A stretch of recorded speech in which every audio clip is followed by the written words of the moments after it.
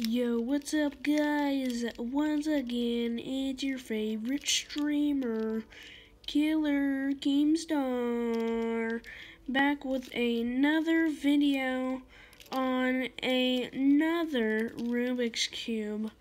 Now, this one, we don't really want to call it a cube, because, you know why? Because it's not a cube.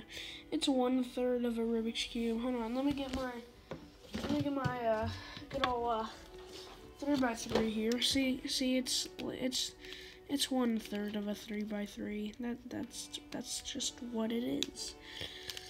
As you can see here, one third. It's just one third. See? One third. Crazy, huh? Alright. So, anyways, I'm to be teaching you how to solve the floppy cube. This is a really old cube, and I had trouble getting my hands. Well, I actually never did get my hands on an original one, but it's fun because I have this one, and I just got this off of Amazon, but I like searched really well for it, and this thing was like 25 bucks, and I think it was worth it because it spins really good. Like, it hardly gets stuck, and it's like it sounds like it's dying, but it's really not. Like with this one, oh god, this thing is scary. Like I have two. This is my good one. This is my like terrible one. And uh, if I if I lost them, I, I would probably be scared because I have trouble telling them apart. So this is my good one. As you can see, it spins really well on pretty much everywhere. It's like you get stuck sometimes. Like, let me see. Like, see, it's like if you're trying to go fast, it'll get stuck a little bit, but that's fine. But this one is like, it's like you can hear just it dying.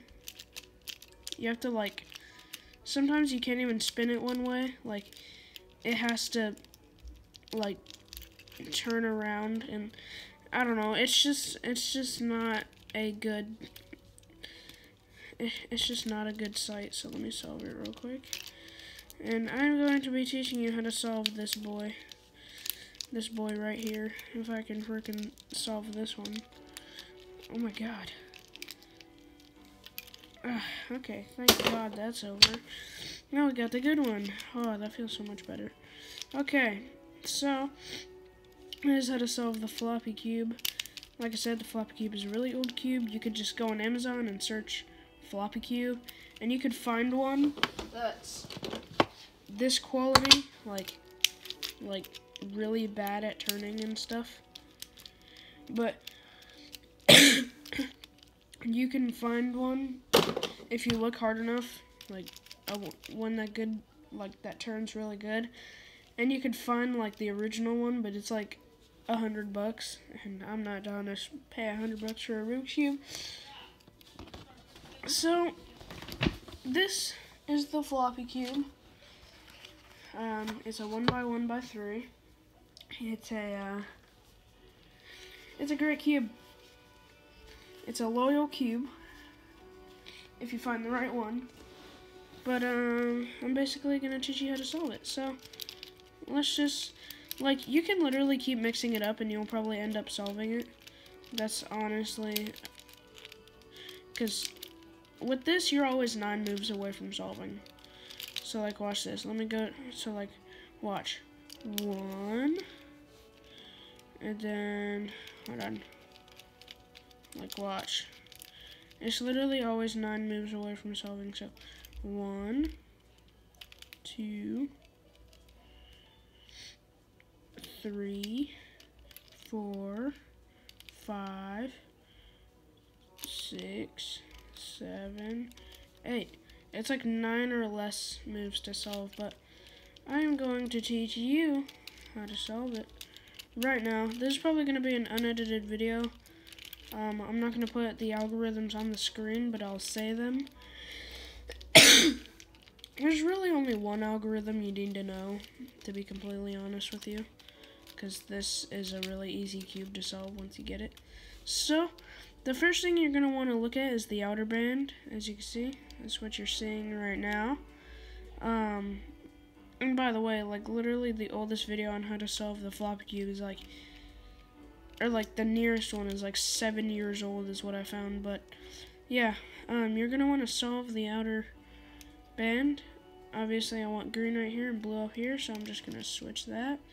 Now that's solved, and then over here, like you could have like this, and then all you're gonna want to do is just turn it so the yellow is under this. And then, okay, I solved it. Wow. This is such an easy cube. You could probably figure this out even without a tutorial. I mean, I did, honestly. I figured this out without anything. Because I just did, like, the righty alg with a 3x3 over and over again. Well, not over and over again, but once I had the outer band solved, and that's basically what you need to do. So let's get the outer band solved.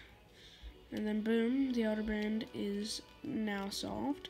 What you're going to want to do is U R U R U R and then you turn it over to where there's two and then they're on the top right and then you do it again U R U R U R and then boom it's solved that's basically it I mean there's algorithms that you can do when, for an example, it is, hold on, let me get it into that position. My whole thing just probably snapped on me, but it's okay. Like, hold on. I need to move this. Now we're good, are we? Yep, we're good. Um, okay, we don't want that. But, like, you can have, like, a checkerboard side and there's like an algorithm you could do to get it solved straight from there but I don't know it because I like self-taught myself with this but boom it's solved but um you can look on YouTube like um floppy cube tutorials I mean this basically has what you need since like look you can literally like I showed you how to solve the other oh my god it's solved I swear this thing. Okay, let me let me mix it up. Okay. Um, boom, like that. See, like there's an H right here, and there's like an algorithm you could do to solve that, but literally, this is all you need. You just need the alg. You just need the alg. And then see, you turn it over, two dots, boom. You just need the alg. You just need the alg. You don't always need to solve it in nine moves. Remember that, like, like there's not really any competitive matches with this thing anymore. But that's just if you want to solve it. But this is a really interesting cube. Let me get my broken one. Um, you can like freaking do all this crap with it. You can like turn that. You can like freaking like do this. You can you can do anything. Like anything is possible with this thing. Like look at that. Like what? It's like not even physically possible. Like look at that. But you can just easily get it back. Let me get this. Boom bada bing boom now let me solve it sometimes it gets messed up like right now it's not messed up but Sometimes it gets messed up. Jesus Christ, you hear this thing? I can't even turn it. I, I can't even turn it. Okay, there we go. Solved. Okay, get out of my face. But, yeah, that's, that's, what, that's, that's what, you, the floppy cube. That's literally, like, I just got this thing in the mail right now. This is obviously my new one. And it works great. I forget like which one it was on Amazon, but yeah, that's it. This is gonna be an unedited video. Just gonna say how to solve the floppy cube. But uh yeah, that's basically the video. I'll do how to solve a 3x3 video, maybe like tomorrow or the next day. And then I'll probably stop with the Rubik's Cube videos for a little bit until I learn to solve more. But, um, yeah, that's basically it. So, I hope you guys enjoyed this video. Please give it a like if you enjoyed, or, okay, I always mess up on my outro. Um, if you like this video, please give it a like. If you have something to say for the video, please comment that down below. And as always, subscribe and share with your friends. Goodbye.